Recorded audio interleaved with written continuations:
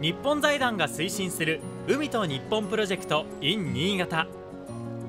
海水浴は楽しい反面多くの人に迫る危険も。それは離岸流。離岸流とは海岸に打ち寄せた波が沖に戻る時に発生する強い流れのことです。離岸流というものは波があれば必ず発生します。地面に足が届くような場所で遊んでいても知らないうちに足の届かない方に運ばれてしまって事故が発生してしまう。波が弱く見えても人間にとっては逆らえないほどの強さにもなる危険な流れ。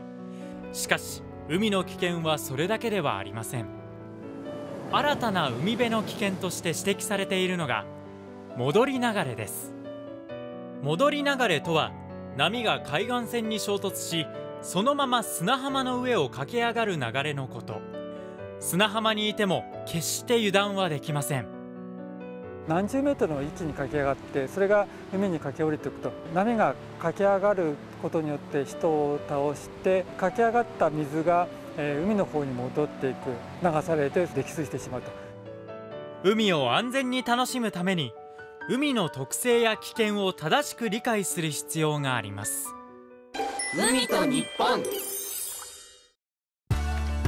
海と日本プロジェクト in 新潟。ご覧いただきましてありがとうございました。ぜひグッドボタンとチャンネル登録をお願いします